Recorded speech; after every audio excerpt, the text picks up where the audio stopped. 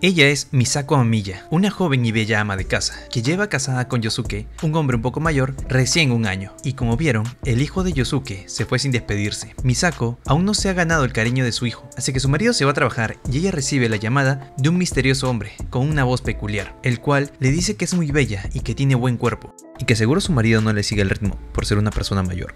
El atrevido le agrega que si él fuera su marido, le juega 5 partidos seguidos sin descanso y muchas cochinadas ricas, digo, muchas cosas del diablo. Ella se molesta y corta la llamada. Luego se va a hacer sus quehaceres y vuelven a llamar. Ella contesta molesta, pero es hijastro para decirle que guarde algunas cosas y ya de noche ella le quiere contar sobre las llamadas a su esposo y de paso darle un poco de calor al body, pero Yosuke le dice que solo quiere dormir y no cumple como marido. Muy mal señor, muy mal. Al día siguiente, en el desayuno, conocemos a Kazuhiko, el cual no quiere desayunar, pero por fin se despide de Misako diciéndole mamá. El papá se alegra y le dice que él es un tímido, así que que le tenga paciencia. Y Misako está más tranquila porque su hijastro la trata como madre. Y ya cuando todos se van, ella recibe otra llamada y es otra vez el admirador cochino y le dice que tiene un regalo para ella y que lo dejó afuera de su casa, así que ella sale y va a recogerlo. ¿Qué será? ¿Un traje de baño? ¿Un perfume? ¿O una nueva sartén? Si quieres saber, sigue mirando el video. Ah, por cierto, no lo saludé. Hola gente que le gusta el anime, ¿cómo estamos? Espero que con ganas de ver una buena historia, suculenta ya que hoy les traigo la historia de una madre que hace todo por su hijo. Hace todo. Pero antes, gente que le gusta el anime, ya pasamos los 50.000 suscriptores. Y como son los mejores suscriptores, les traigo un regalito. Es una app de radio de música anime, donde podrás escuchar muchos openings, endings y demás música relacionada. Además contiene un chat global para que conozcas gente con tus mismos gustos. Y si me encuentras, salúdame. La aplicación está en el Play Store, libre de hackers. Te dejo el link en la descripción. Ahora sí, seguimos. Pues lo que había en la caja era un micrófono, para que cante cuando ella quiera. Ella lo mete rápido a su casa, para que nadie la vea. Luego lo quiere esconder y de nuevo la llaman, y es el admirador secreto. Ella le dice que lo denunciará y mandará el micrófono a la policía. Este le dice que hay un explosivo ahí, así que ella se asusta, pero el admirador le dice que él la ayudará a desactivarlo. Así que ella le hace caso y este le comienza a indicar qué hacer, pero todo era una broma para que active el micrófono. El animador le insiste que lo use y ella cuelga la llamada. Luego mira por la ventana para saber si está cerca, pero no ve a nadie. Ya de noche le dice a su marido que le toque la cucaracha, pero este le dice que lo dejo en paz y que está cansado y que solo quiere dormir. Y otra vez se queda con las ganas de cantar una canción y se queda pensando en el micrófono. Al día siguiente recibe la llamada del admirador nuevamente ella le quiere cortar, pero él le dice que si hace lo que le indica, será la última vez que la llamará. Y bueno, como Misako tiene curiosidad y la llama de la pasión no fue apagada y esta está más caliente que pelotazo en la oreja, ella le comienza a hacer caso. Así que comienza un concierto por teléfono. Así que es hora de... ¡Es hora! De la suculencia. Y una vez terminó el concierto, ella misma pregunta si la volverá a llamar. Y así hubieron unos cuantos conciertos más por teléfono, hasta que dejó de llamar unos días, y ella se sentía ansiosa, ya que la llamada no llegaba. Ya un día en la noche, su esposo llega borrachín del trabajo y lo acompaña un amigo. Este se cae por culpa de Yosuke y este toca la delantera de Misako. Este se va todo avergonzado, y justo después sale Kazuhiko y le dice que se vaya a bañar, que él se encargará de todo.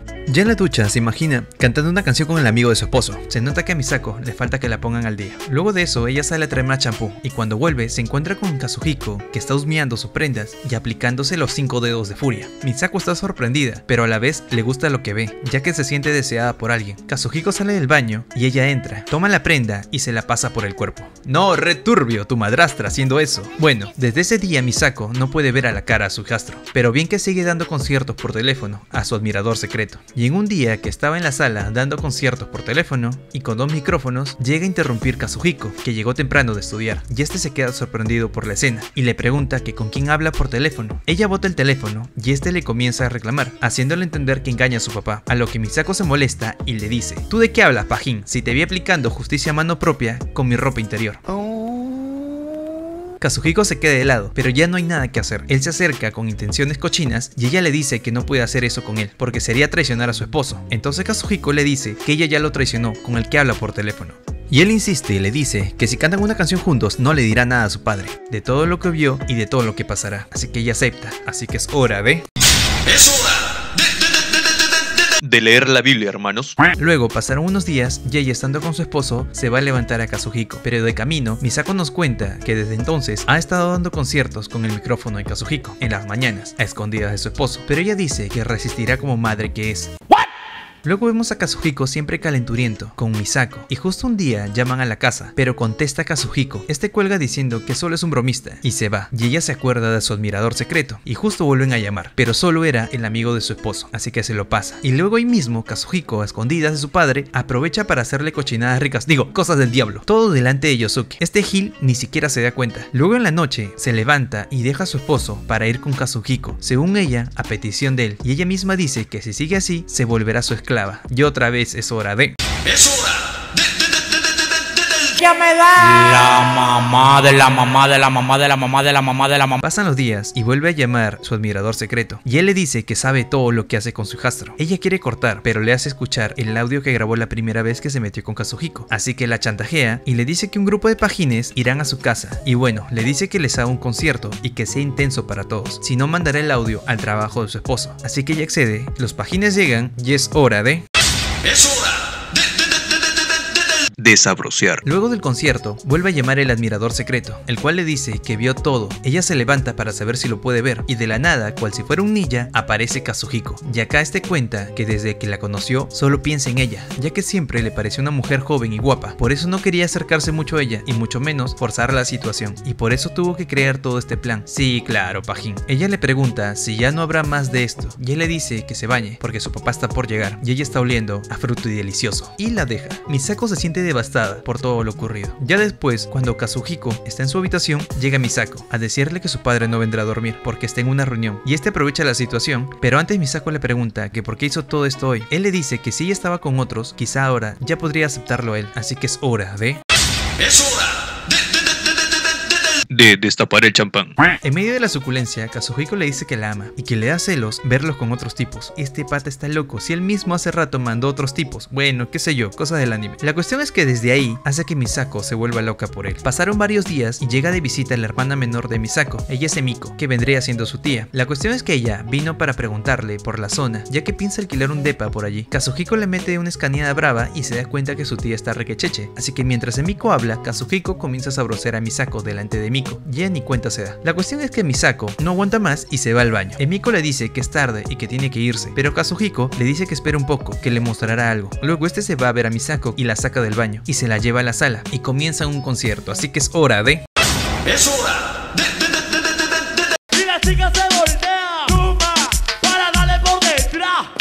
Pero en medio del concierto, Misako se da cuenta que Miko está amordazada mirando todo el espectáculo. Misako no puede parar, lo único que quiere es complacer a Kazuhiko. Emiko le pregunta si él lo está forzando o la está presionando de alguna manera, pero ella solo dice que no la mire y Kazuhiko sigue el espectáculo delante de ella. Emiko le pide que detenga todo esto, ya que es pecado. Así que Kazuhiko le dice que si ella se deja y se mete en un perrito intenso, dejará a Misako. Y ella acepta. Y Misako queda sorprendida. Y Emiko le dice que tomará su lugar si es la única manera de salvar a su hermana. Pero Misako se molesta y le dice que ella está bien con lo que está pasando y que no se meta, pero igual Kazuhiko sigue con Emiko y a Misako le dan un micrófono para que cante sola. Así que es hora de... frutifantástico.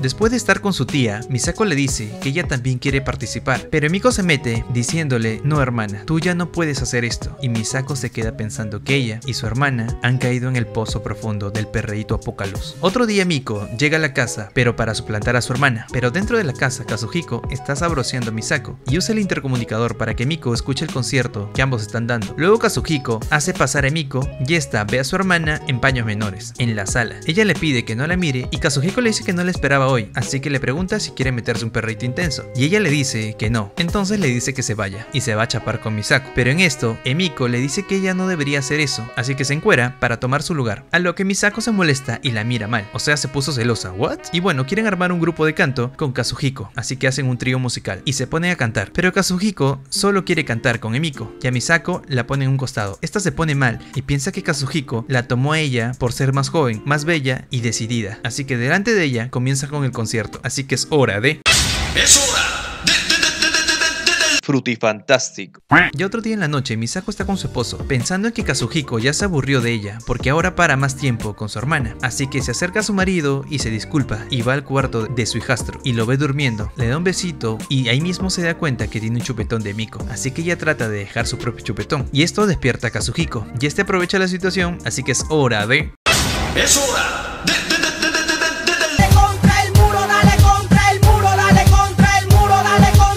Pasaron los días y al parecer todo está mejor entre Misako y Kazuhiko. Ella despide a su esposo y piensa que hoy tendrá todo el día con su hijastro para pasar tiempo de calidad. Pero justo llama Miko a preguntar por él. Misako se molesta y le dice que no joda a su macho y le corta la llamada. Y se queda pensando que la felicidad de Kazuhiko solo depende de ella, ya que es su responsabilidad como madre.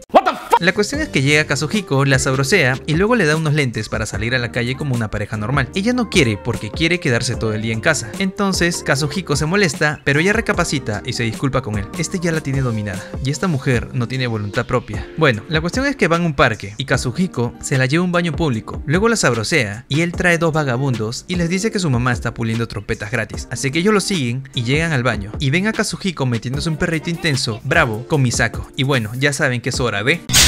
Es hora de, leer la Biblia, hermanos. Y otro día en la noche, Misako está con su esposo, el cual le dice que lo mandarán a otra ciudad por dos años. Y él le pregunta si quiere ir con él o se quiere quedar cuidando la casa y a Kazuhiko. Ella le dice que su deber como esposa es ir con él. Yosuke le da las gracias y se va a dormir, sin darle calor al body. Y ella se queda pensativa con todo lo que acaba de pasar. Al día siguiente, mientras está de compras, ella llama a su hermana y le cuenta que transferirán a su esposo y de paso se disculpa por cómo la trató últimamente. Yemiko le dice que está bien que se vaya y que deje atrás todo lo que pasó con su Pero Misako no responde y su hermana le cuelga porque interpreta que aún pensará en Kazuhiko. Así que Misako vuelve a su casa y que te cuento que la hermana ya estaba ahí. Ella corre desesperada y encuentra a su hermana chapando con Kazuhiko y Misako quedó así.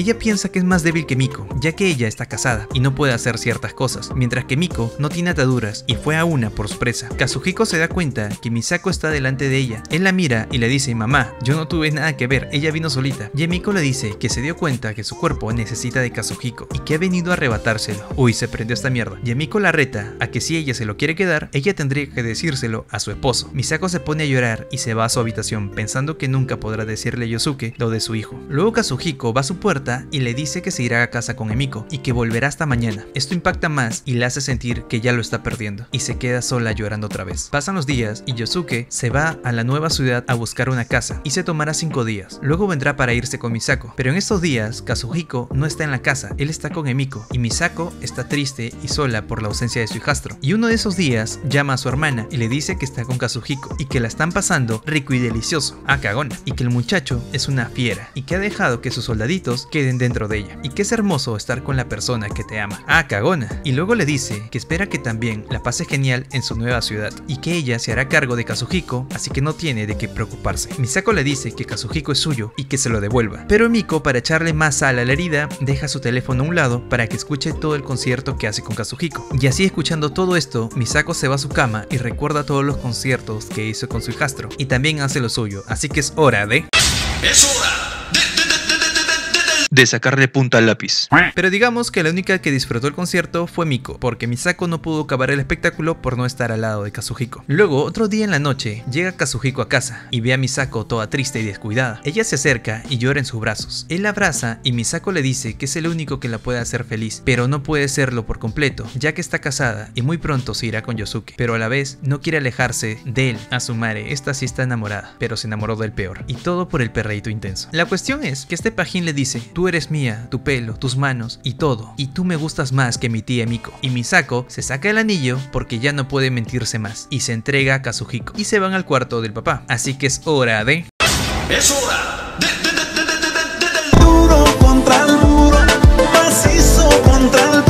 Luego de la batalla, él le dice que le irá a visitar siempre que pueda, y ella le dice que lo llamará siempre. Por otro lado, Emiko llama al celular de Kazuhiko, pero no contesta, y ella deja un mensaje diciéndole que tiene algo importante que decirle, tocando su vientre y mostrando una prueba de embarazo que dio positivo. ¿Qué carajos? Mientras que por cosas de la vida, Yosuke llegó un día antes, ya que el vuelo se adelantó. Este va a la sala y ve el anillo de Misako. Le parece raro ya que ella nunca se lo saca, y mientras sube la escalera, dirigiéndose a su habitación, piensa que su mujer se acaba de despertar porque ve la luz encendida y abre la puerta. Y fin. Así acaba este anime H. Bueno, gente que le gusta el anime, cuéntenme qué les pareció la historia y díganme cómo creen que terminó este anime. Si alguien sabe si hay escenas extra, que lo deje en los comentarios. Es para una tarea y aparte de la comunidad te lo agradecerá. Gracias por llegar hasta aquí. Espero que te haya gustado este resumen. Apóyame suscribiéndote a mi canal, dándole a la campanita y dejando tu manito arriba. Eso me anima a hacer más videos. Y otra manera de apoyarme es compartiendo mi contenido y obvio, como ya saben, comiéndose toditita la publicidad. De esta manera, Kai y Kira pueden comer sus croquetas y te lo agradecerán. Esto fue Taboo Charming Mother, resumen en un video. Gracias por ver y espera más videos. Chao.